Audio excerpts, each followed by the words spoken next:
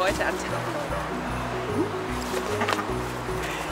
Das Kommando, was ich euch heute zeigen will, ist das Kommando aus. Das heißt, ein Gegenstand, den der Hund gerade im Mund hat, loslassen.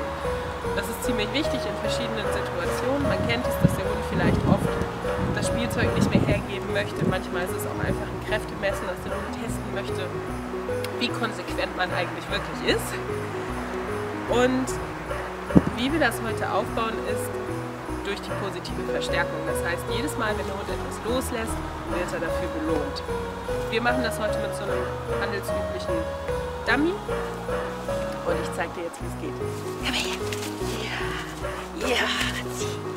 Erstmal müssen wir natürlich Pebbles dazu kriegen, dass sie da ordentlich reinbeißt.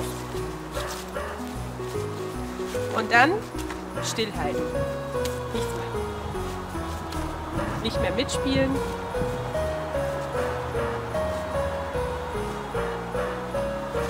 Aus. Super! Ja, also in dem Moment, wo sie ruhig wird und auf das Kommando hört, wird sie sofort belohnt. Kann man mit Futter machen, kann man aber wie immer auch mit anderen Möglichkeiten äh, machen.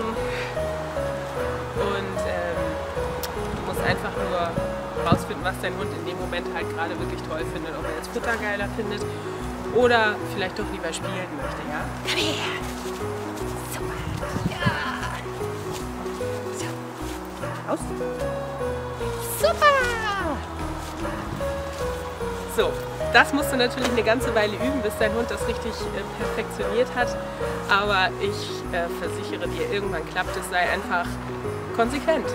Das ist das große Geheimnis dahinter. Und immer belohnen, wenn dein Hund es richtig gemacht hat. Also, wir sehen uns morgen wieder, hoffe ich und bis dann.